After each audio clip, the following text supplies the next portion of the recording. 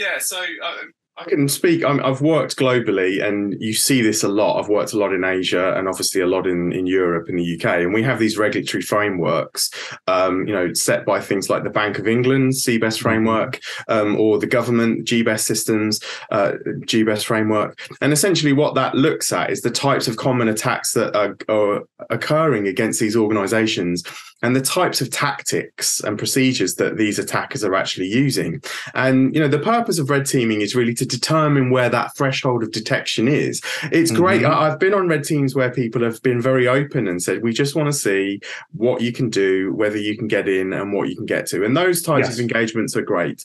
Other people are like, "These are the things that we're so concerned about." Mm-hmm. Um, certain things are in scope, and you you definitely get this a lot with regulatory. Um, uh, processes, frameworks, where there are certain things you have to demonstrate access to.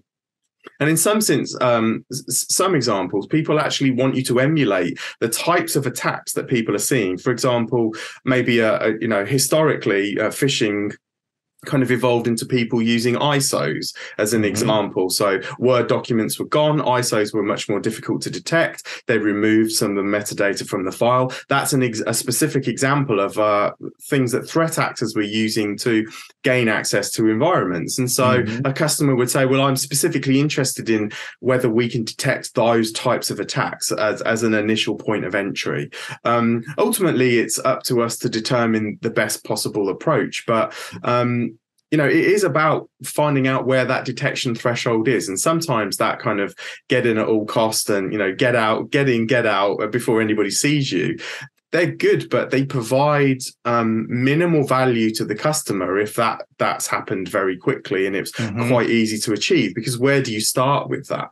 Um, yeah. You know, if if you can achieve your objectives. So what, what what we like to do is we focus on the initially achieving our objectives, and then um, we have conversations with the customer around. Okay, well, let's ramp up the noise a little bit. We haven't been seen, we haven't been detected. You know, essentially, it's mission accomplished. Um, let's find out what we can do to actually determine where that threshold is.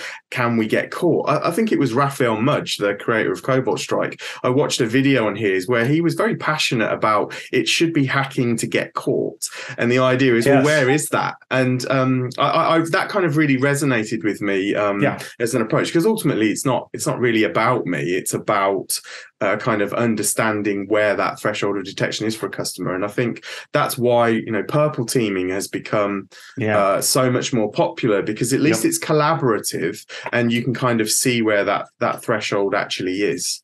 Yeah, um, I think um, I think that's something that that never quite sat right with me when I would hear, you know, when I first started learning about uh, red teaming was that it, it does have this sort of like, you know, uh, blue you know i got a blue ribbon at the you know at the at the uh, you know the the, the farm competition yeah. for having the best you yeah. know yeah, be, you know having the best fence you know like yeah. no no sheep can get through this or whatever but like yeah, but that's uh, not true though, is it? Because in yeah. reality, like um, th- there's always a route through. I mean, right.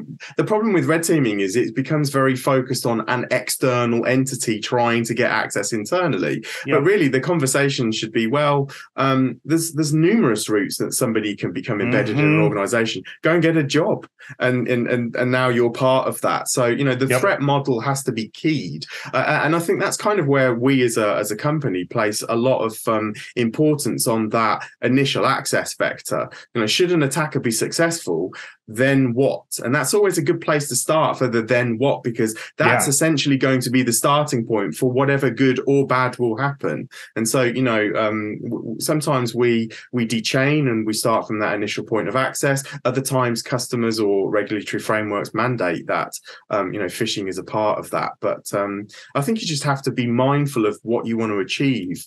Um, you know, what the goals are of the overall, because these are truncated timelines. You know, they're not yep. in definite timelines. You know, yeah. they're they're not fully realistic of world real world because we're not criminals, and so you know we're bound by scope, and there's certain yeah. things that we can do, and there's there's certain things that we have to consider. So um, mm-hmm. so yeah, I think that kind of intelligence piece is important in in terms of trying to identify the types of threats that you're emulating. How about some free cybersecurity training resources for you and your team? Just go to infosecinstitute.com slash free to get ebooks, training guides, and more than 100 cybersecurity training courses, all free for cyberwork listeners. Go to infosecinstitute.com slash free and start learning crucial new skills today.